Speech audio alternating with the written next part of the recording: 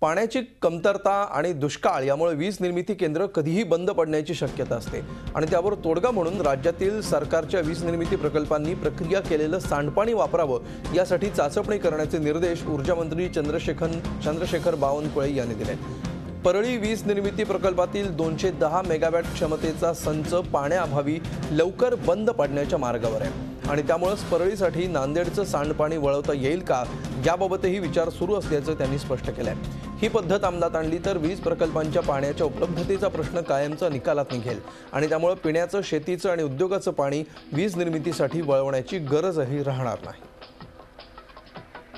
याविषयी आपण अधिक माहिती घेऊया. आमचे प्रतिनिधी अमित जोशी सध्या आपल्यासोबत आहेत. अमित एक वेगळी सूचना सध्या समोर येताना दिसतीये. कितपत फिजिबल ही घोषणा दिसते आहे हे प्रत्यक्षात येऊ शकतं का? नक्कीच जर का इच्छाशक्ती या सध्याच्या शासनकर्त्याने दाखवली तर हे प्रत्यक्षात येऊ शकतं.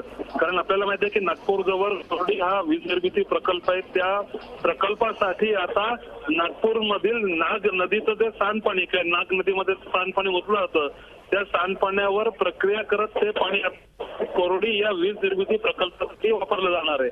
थोडक्यात या हा सगळा प्रकल्प येत्या मार्च महिन्यापासून सुरू होणार आहे. थोडक्यात हे जर का अशक्य ते शक्य करणं करण्याची शक्ती दाखवली तर हे शक्य होऊ शकतं. कारण जे सात वीज निर्मिती प्रकल्प महाराष्ट्र शासनाचे आहेत ते बहुतांश विदर्भ आणि मराठवाडा आणि दुष्काळ असलेल्या भागामध्ये आहेत.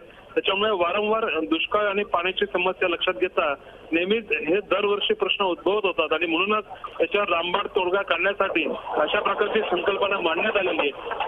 जर का इच्छाशक्ती दाखवली तर कायमचा वीज निर्मितीच्या प्रकल्पांसाठी पाण्याच्या उपलब्धतेचा प्रश्न या निमित्ताने निकालू लागू शकेल. आणि पिण्याचं पाणी आणि शेतीचं पाणी हे त्या त्या लोक संबंधित विभागाला सहजपणे उपलब्ध होऊ शकेल. बिलकुल. धन्यवाद अमित या सविस्तर माहितीबद्दल. झी चोवीस तास. रहा एक पाऊल पुढे.